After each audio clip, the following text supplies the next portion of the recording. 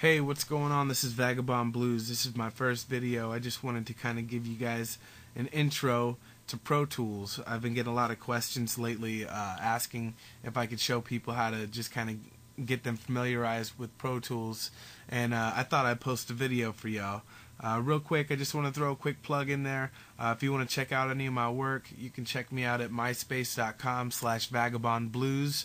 That's V-A-G-A-B-O-N-D-B-L-U-E-Z. Um, with that being said, let's move on. All I've done here is I've launched Pro Tools. What I'm going to do is I'm going to start a new session. So I'm going to come up here to File, New Session. I'm just going to call the session Test. Um, down here you've got your your um, your file type, your sample rate, and your bit depth. Um, I always use WAV files. It doesn't really matter what you choose to use. I use WAV. It's more industry standard. Um, I like to set my, my sample rate to 48K and my dip uh, my bit depth rather to 24 bit. Um, if your computer is a little sluggish and has a hard time keeping up with recording and stuff like that, I would suggest maybe setting your sample rate to 44.1 and your bit depth to 16 bit. Um, you might not want to do that. You're telling yourself, "Oh, I don't want to do that because the quality is not going to be good."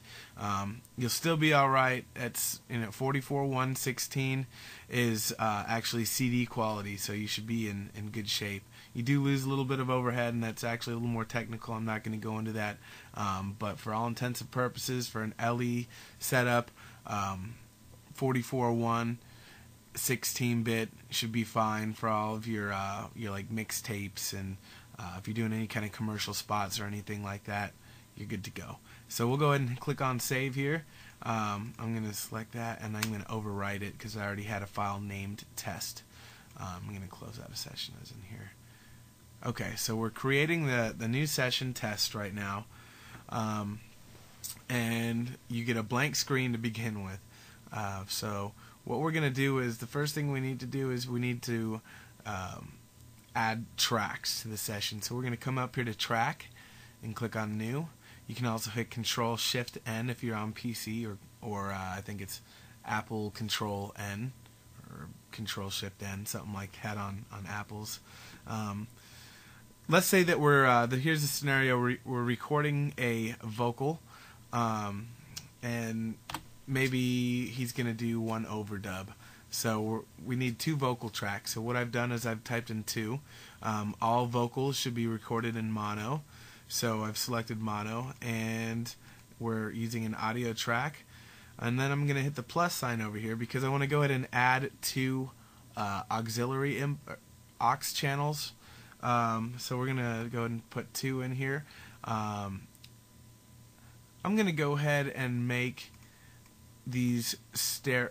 Uh, I'm going to go with mono for now, and I'll tell you why here in a little, little bit. Sorry to confuse you.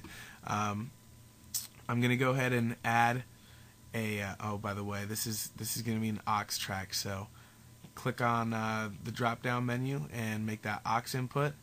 And lastly, I'm adding a uh, stereo master fader. So once I've got that done, I'm going to go ahead and.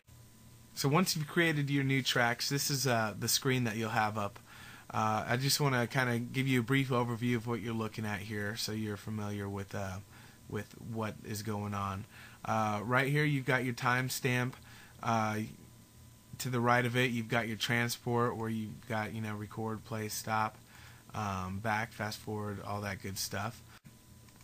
On the left here, you see your audio tracks that we've just created. So we've got audio one and audio two, and we've got our two auxiliary um, input tracks and our master fader at the very bottom.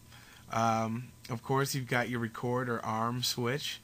Um, you've got solo and mute buttons, um, and all of these have you have these individual controls on each of these of these channels. Um, what I'm going to do now, I'm going to hit Control equal. That's a shortcut to get to the uh, to flip between the edit window and the mix window. This is the mix window here, um, and basically you've uh, this corresponds to the last window window we're looking at, um, the edit window. As you see, we've got audio one, audio two, uh, aux one, aux two, and the master fader. Um, just to reference uh, audio 1, audio 2, aux 1, aux 2. So everything is corresponding and in order. Um, first off, what I want to do, I just want to go ahead and uh, I want to name these tracks. That way, you guys know uh, what I'm referring to when I say vocal track or reverb track, track or compressor, etc. Um, all I did was I double clicked on audio one. I double uh, clicked on the track name, and we're gonna go ahead and call this Vokes. And you can click on next, and I'm gonna call this uh, Vokes. Uh, I don't know, double. and then I'm going to call my aux track. The first aux track, aux track I'll call a compressor, and let's make the second one a verb. Cool. We've done it. Uh, there we go. So as you see, we've labeled our tracks, um, and now I'm going to go ahead and show you what all of this stuff is here on your channel strips. This is where a lot of people get confused and overwhelmed, um, and there's really not that much to be afraid of. Um, basically, you've got three main sections of each of these channels. Anything you do in any of these sections here, like on this is one strip here, this is your second strip. Anything you do on this first strip is going to correspond to the first channel, um, and and so forth. So, you know, if I if I do anything on this strip here, it's going to directly affect Vokes double. So, um, this first section, this dark gray area, is your plug-in inserts. This is where you add your effects, you know, time-based or dynamic effects, uh, your EQs, um, and so forth the um, right below it in the light gray area. These are this is your bus send section. So if I need to send a signal um, to my reverb effect I would do it here by sending uh, I would click on the, the drop down menu and I would bus signal out of track 1 through bus 1 um, we'll get back to that in just a second here. Um, below it is your input and output assignment for each channel um, so for my vocal mic, my, I have my microphone hooked up into channel one on my Mbox. So uh, naturally, I would I would click click on in one. Whoops, I'm sorry.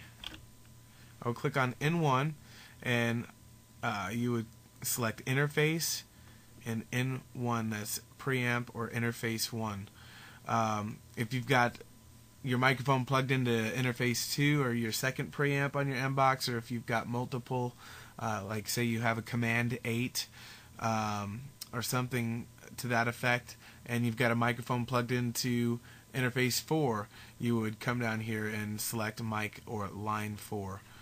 Um, further than that, um, below the input section is your output section, and by default, everything goes out to your uh, master stereo uh, fader, which is right here.